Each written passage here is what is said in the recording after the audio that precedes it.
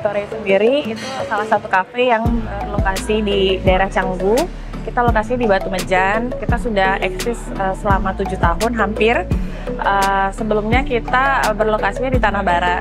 Dan setelah satu tahun ini kita baru pindah ke lokasi yang lebih besar dengan konsep yang lebih matang, berlokasi yang di Batu Mejan itu sendiri.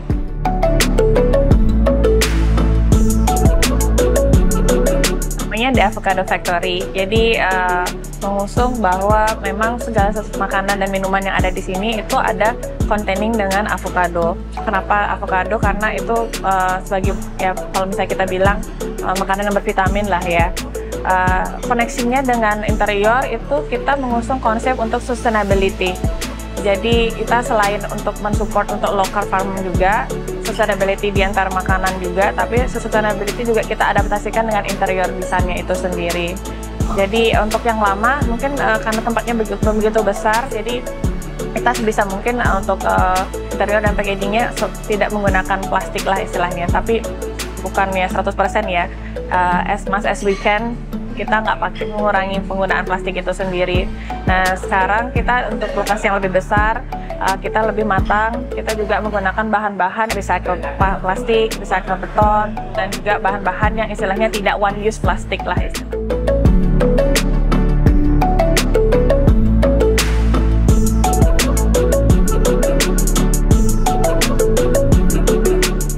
Avocado Factory kita uh, breakfast place, uh, tapi kita buka untuk dinner juga.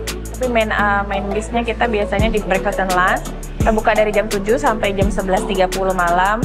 Uh, untuk uh, target marketnya itu sendiri, uh, memang kalau di daerah sini kita banyak uh, orang dari luar ya, banyak Europe, Australian, uh, orang Europe juga, dan juga uh, uh, 60% juga banyak juga orang Indonesia, tergantung jadi liburan seasonnya sendiri ya.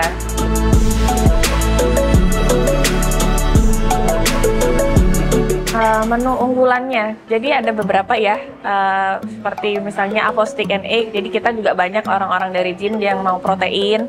Kita juga ada croissant, croissant uh, uh, cheese XXL. Terus ada egg benedict, truffle benedict, uh, dan pancake salah satunya yang paling sering banyak uh, tamu yang cari ya.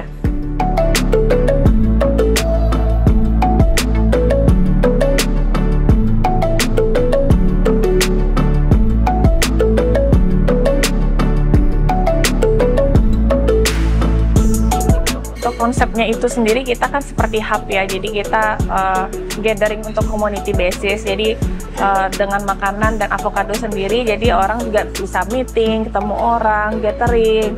Uh, ada beberapa orang juga enjoy untuk comfortable kerja juga dari avocado. Jadi uh, kita juga berusaha untuk membuat event-event untuk bisa mempertemukan orang-orang lah istilahnya. Community basis di sini ya.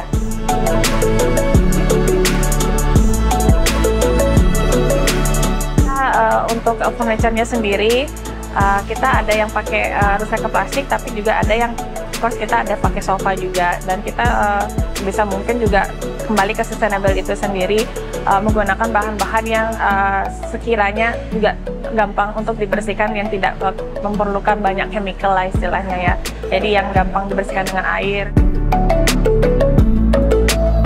Jadi uh, untuk warna kita menyesuaikan dengan warna avocado itu sendiri dan uh, jadi beberapa ada pattern warna hijaunya seperti itu.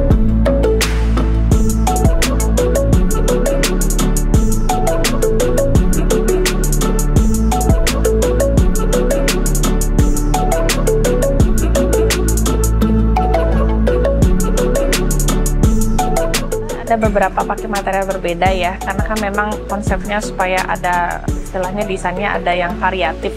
Dan untuk penggunaan bahan uh, itu sendiri kita menggunakan uh, Tech untuk uh, bahannya dari Giorgio dengan warna avocado.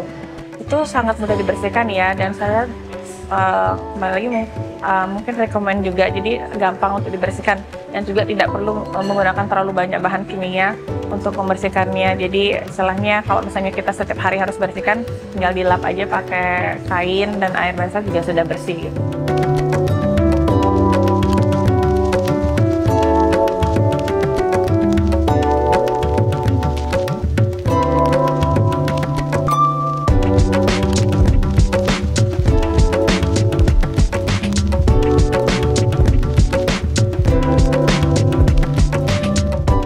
Misalnya penggunaan bahan kan kita juga ada desainer ya. Uh, first uh, kalau dari desainer dia akan suggest sesuatu, uh, sesuatu yang istilahnya uh, gampang untuk uh, maintenance-nya untuk uh, ke depannya.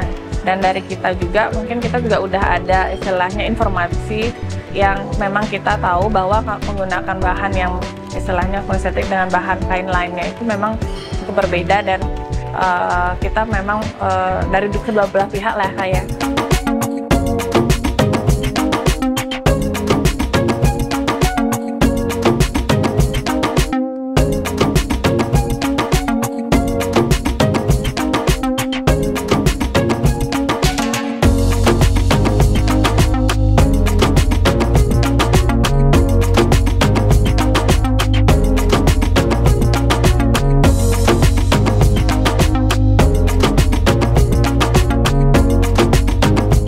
pemirsa yang memang istilahnya belum sempat main ke Bali atau ke Canggu, saya rekomendasikan uh, memang untuk bawa untuk keluarga, partner, dan uh, istilahnya untuk meeting. Jadi saya suggest bisa datang ke Avocado Factory.